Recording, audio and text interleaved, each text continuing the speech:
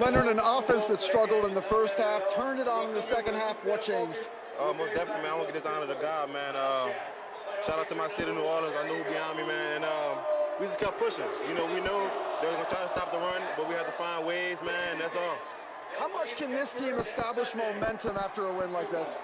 I think a lot, most definitely, we have a great defense, and uh, we just uh, still have to put the pieces together as a whole, as an offense, and I think it's going to together fine. My man, Leonard Fournette is going into Pittsburgh, and that is where running backs go to either live or die. How confident are you that you can get the job done? I know most definitely uh, the defense is very challenging. You know, from the first game we played, and uh, like I said, it's going to be a dog fight.